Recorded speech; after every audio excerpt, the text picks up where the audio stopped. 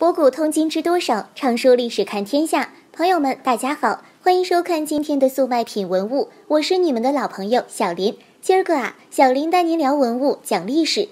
在古代，它是作为皇权天授、正统合法的信物，它就是历朝历代男人们梦寐以求的东西——传国玉玺。封建社会之所以叫封建社会，也是自如其名啊。大多数人的思想都比较封建，统治者们就先说服自己，我得给自己一个权力的象征啊，再去蛊惑把他封为老大的臣民。相信朋友们经常在电视剧中看到想夺得皇位的一些人，为了得到他，争得头破血流。据说获得传国玉玺就能够得到上天的认可，成为中原真正的王者，也会被臣民们认为是正统的王朝。今儿个啊，我们就来揭开传国玉玺的神秘面纱。公元前二二一年，秦王嬴政厉害了，灭了六国，在历史上第一次进行了中原大一统，成为了第一任老大。随后建立了秦王朝，还给自己取了个相当霸气的称号——秦始皇。中国至此进入到了封建王朝时代。作为历史上开天辟地的第一人，秦王也是非常自信啊，认为像自己这样的人物。那是前无古人后无来者啊！这时候他就想搞一个凭证来证明自己的地位。秦王就使用他朝思暮想的和氏璧制成至高无上的玉玺，还让自己丞相李斯在上面雕了八个大字：“受命于天，既寿永昌。”这八个大字是什么意思呢？意思就是我受上天的任命，所以一定会国运长寿、永久昌盛。本来希望这个皇权的象征能够世世代代在自己的子孙手中传下去，永保江山。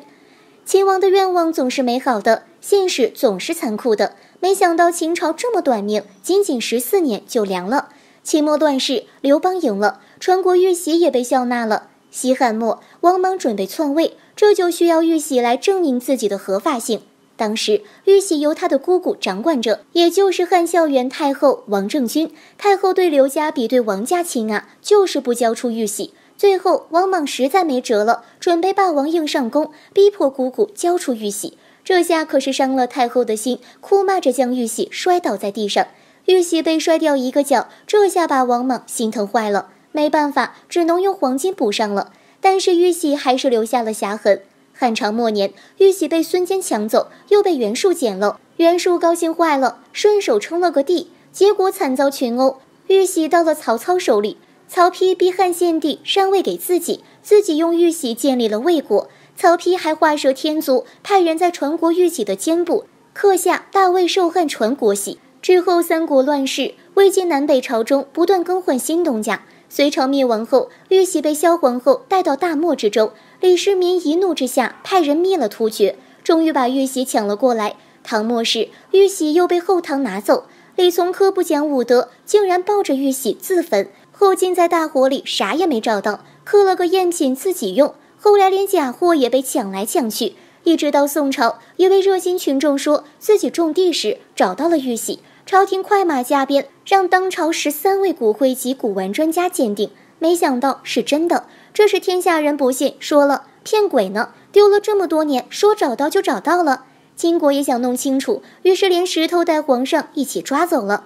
蒙古踏平中原后，看不懂石头上写的啥，随手丢到一边。一直到康乾盛世，又有热心群众说自己挖黄河找到了玉玺，但这次是假的。从此以后，就再也没有了传国玉玺的消息。这传国玉玺的时生可谓是颠沛流离呀。清朝覆灭以后就没有皇帝了，玉玺也不再是皇权的象征。在两千多年的封建王朝中，出现了无数令人咂舌的奇珍异宝，有传世名画《清明上河图》，有天下第一剑越王勾践剑。小编认为这些宝物都比不上传国玉玺。传国玉玺据史料记载是由和氏璧制成，和氏璧被封为无价之宝，在那个年代，和氏璧非常稀少。物以稀为贵，自然和氏璧就非常珍贵。就算是拿城池来换，皇帝也不换。在这里，小编给朋友们讲一个故事：楚国有一个人发现了这块玉，然后就把这块玉献给了楚王，然后楚王得到了这块美玉，那是十分爱惜，都不舍得打造成玉器。后来落到了赵惠文王手里，秦王听说了，就派使者告诉赵王，他愿意用十五座城池来交换。秦王那是出了名的阴险狡诈。赵王惹不起秦王，又害怕到时候赔了夫人又折兵。这时候有一个人出现了，他就是蔺相如。相信朋友们都知道完璧归赵的故事，讲的就是通过蔺相如的机智，和氏璧完好的回到了赵王手中。从这个故事可以看出，和氏璧到底有多珍贵。传国玉玺不仅制作材料珍贵，它还是当之无愧的中华第一国宝，是国宝中的国宝。它见证了中华民族最为强盛美好的秦、汉、唐等大朝代。传国玉玺具体是什么时候丢了，谁也说不清楚。丢了也影响不了后世的皇帝继续做印章。不过后世的印章开始越做越大，很多朋友好奇了，为什么越做越大呢？因为皇家用厚重赋予了印章的威严性。皇帝觉得我做的越大，我就越有威慑力。从记载中我们能看到，最早的帝后印章就是这枚皇后之玺了，特别的小，边长只有二点八公分，重三十三克。那乾隆时期最大的印章有多大呢？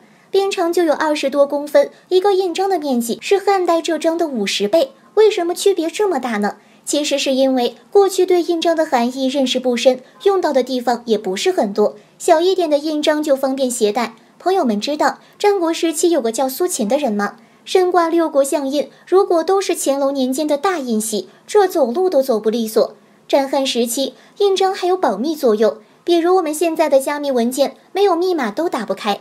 战国秦汉时期，纸张还没有发明，当时的书籍啊、文件啊，都是写在竹简或者帛书上。有些文件在传递的时候需要保密，怎么办呢？就用丝绳把帛书捆扎起来，打上结，然后用一块软泥将绳结封住，再在软泥上盖下印文。这样的传递过程中，信使就不敢私拆偷窥，就起到了保密作用。说到后世的玉玺，不得不说的是清朝乾隆年间，那时候传国玉玺仍然是毫无音讯。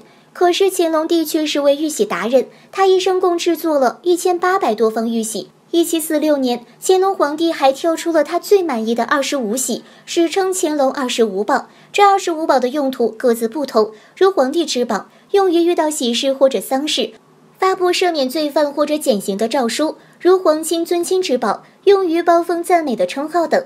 为什么会选二十五宝呢？是取义《周易》里的天数二十有五，希望社稷江山能够传到二十五代。有史料记载，交泰殿内一共是三十九方玉玺，其中放在正中的一方，在一场鉴定大会上，曾有人鉴定这方是个赝品。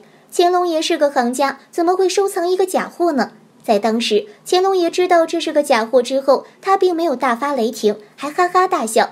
乾隆爷说：“为君最重要的是有德，而非储宝。德越重，传国玉玺就越有价值。只有将国家治理好，得到人民的信赖和依附，传国玉玺才会有威望，才会发挥作用，才真正代表着皇帝的权威。如果没有德，还非要霸占传国玉玺，那必将遭到人民的反对。”作为一代明君，乾隆爷对待玉玺的看法果然与众不同。有一次，小编在央视的寻宝节目中看到了玉玺的身影，持宝人是一个身着朴素的大叔。持宝人说，这是他一个姑妈，在一九六零年从荷兰的一个贸易商那边买的光绪的宝印。说完，几个顶级专家就进行了一番鉴定。专家说道：“这个玉玉质白，非常致密，但是这里还有一点点绿，这是戈壁滩里边的玉。”这个玉也不比和田玉差，是当时清宫存料里选出来的。上边的钮是蛟龙钮，底下光绪御笔之宝，字体圆润，雕刻精到，应该是光绪的珍品。此时大叔已经汗流浃背，别说这位大叔了，小编也是替他捏了一把汗。二零一一年，北京拍卖了一方嘉庆御笔之宝，和这块的尺寸钮是一样，不过是和田碧玉，成交价是三千七百万元。专家分析，白玉比碧玉的玉质来得好，但是时间上嘉庆来得早。专家认为，这方玉玺两千五百万左右，这位大叔无比幸运啊！估价令小编瞠目结舌，小编的心都跟着起起伏伏。希望这些国家珍宝都能世世代代流传下去。上下五千年里，秦始皇的传国玉玺是当之无愧的中华第一国宝。因为传国玉玺流传十几个王朝，历代史书都有记载。这颗玉玺的价值根本无法估量，只能说无限逼近神物级别。如果传国玉玺重现于世，那该是多么的震撼！对传国玉玺有研究的朋友们，可以在评论区说出你知道的故事，让小编开开眼界。朋友们有什么想听的文物故事，也可以给小编留言哦。